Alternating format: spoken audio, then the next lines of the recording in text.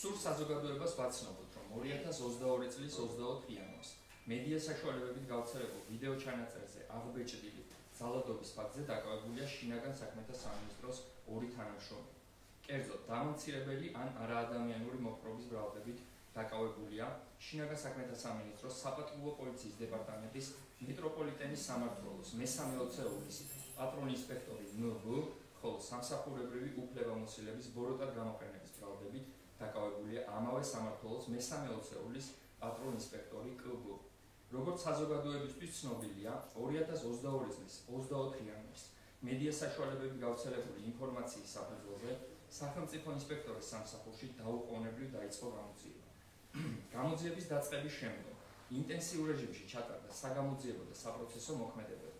დათვალიერდა შემთხვევის ადგილი, გამოიკითხა მოწმეები, მათ შორის ფსიქოლოგის თანდასწრებით გამოიკითხა პირი, რომლის მიმართაც განხორციელდა ძალადობა.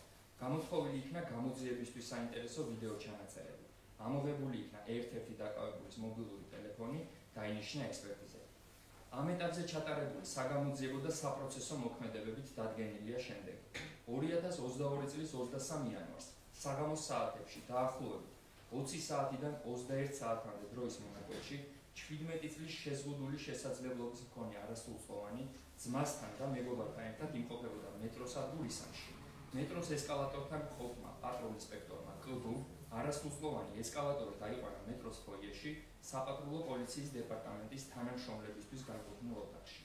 აღნიშნულ ოთახში მყოფმა საპატრულო პოლიციის დეპარტამენტის ერთმა თანამშრომელმა არასრულწლოვანს რამდენჯერმე დაარტყა მუშტი თავის არეში და მოკაჩა თმაში.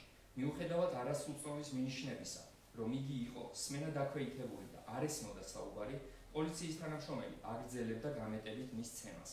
ძალადობის ფაქტს შეესწრნენ არასრულწლოვნის თანხლები პირებიც. აღნიშნული ქმედებით არასრულწლოვანმა მიიღო დაზიანებები თავისა და სახის არეში, განიცადა ძლიერი ფიზიკური ტკივილი და თავი იგრძნო დამცირებულად.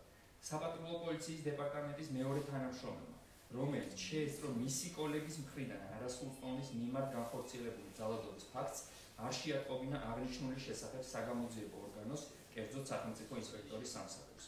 სახელმწიფო ინსპექტორის სამსახურის მიერ ძალადობის განმახორციელებელი საპატრულო პოლიციის დეპარტამენტის მეტროპოლიტენის სამმართველოს მესამე ოცეულის პატრულ ინსპექტორი ნუბ დაკავებული იქნა საქართველოს სისხლის სამართლის კოდექსის 154 ტერცია მუხლის მეორე ნაწილის ა, ბ და ზ ქვეპუნქტები გათვალისწინებული დანაშაულის ჩადენის ბრალდებით, რაც გულისხმობს დამამცირებელ და არაადამიანურ მოპყრობას, ჩადენის მოხელის მიერ სამსახურებრივი მდგომარეობის გამოყენებით დანაშაულისათვის წინასწარი შეცნობით არასრულწლოვანისა და სხვაგვარად თავისუფლება შეზღუდული პირის მიმართ. ხოლო ფაქტის შემწრე საპატრულო პოლიციის დეპარტამენტის მეორე თანამშრომელი მეტროპოლიტენის სამმართველოს მესამე ოცეულის პატრულ ინსპექტორი კლუბ დაკავებული იქნა საქართველოს სისხლის სამართლის კოდექსის 332 მუხლის პირველი ნაწილი გათვალისწინებული დანაშაულის ბრალდებით, რაც გულისხმობს სამსახურებრივი უფლებამოსილების ბოროტად გამოყენებას.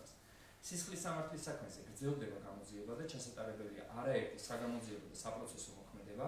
მომავალში მოპოვებული მტკიცებულებების საფუძველზე შესაძლებელია დაზუსტდეს საქმის გარემოებები და დანაშაულის კვალიფიკაცია. გამოძიების დაწყებისთანავე შინაგან საქმეთა სამინისტროს გენერალურმა ინსპექციამ აქტიურად ითანამშრომლა სახელმწიფო ინსპექტორის სამსახურთან. მოუწოდეთ საზოგადოების თითოეულ წევრს, მათ შორის ჟურნალისტებს, ვინაიდან საქმე ეხება შეზღუდული შესაძლებლობის მქონე არასრულწლოვნის მიმართ ჩადენილ დანაშაულს გთხოვთ საკითხის გაშუქებას და ამ ფაქტზე აზრის გამოთქმას მოვეკიდოთ განსაკუთრებული სიტყვით